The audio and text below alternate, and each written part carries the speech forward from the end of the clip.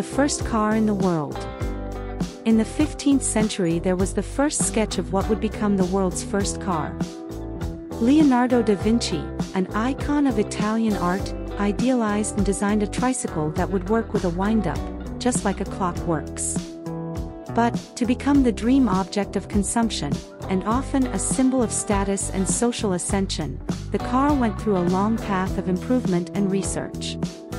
Only after three centuries of Da Vinci's invention, with the improvement of the steam engine, Nicolas Joseph Cugnot, a French engineer, would create the first steam carriage, in 1769.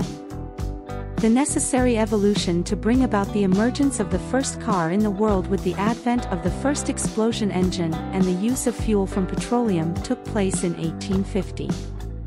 At the end of the 19th century, Karl Benz and Gottlieb Daimler, two German engineers, created their respective companies that manufacture fuel cars, and although there is controversy over who is in fact the father of the automobile, there is a consensus in assigning paternity to the two.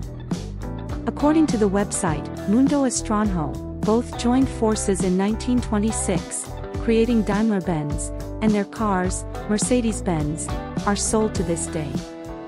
In 1886, Karl Friedrich Michael Benz released to the world, considered the first car powered by gasoline. It was the Benz patent motor wagon. It had three tires in the shape of bicycle rims, a steering wheel and a seat.